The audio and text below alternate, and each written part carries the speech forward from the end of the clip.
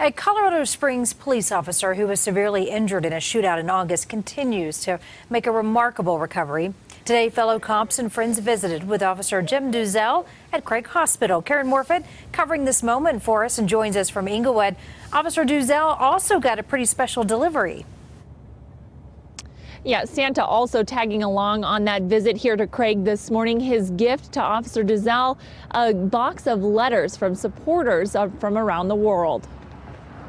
Five months ago, Colorado Springs police officer Cem Duzel was fighting for his life. Today, surrounded by family, friends, and his fellow officers, he's smiling.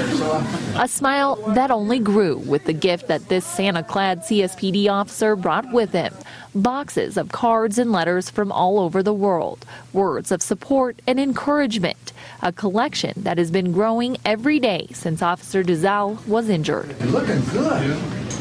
I love that smile. I've always had it. In August, Officer Duzel, a five year veteran of the department, was shot in the head while responding to a routine call. He spent nearly a month in intensive care before being moved to Craig Hospital in Englewood to start rehabilitation. The community following his miraculous recovery every step of the way through photos and updates posted online.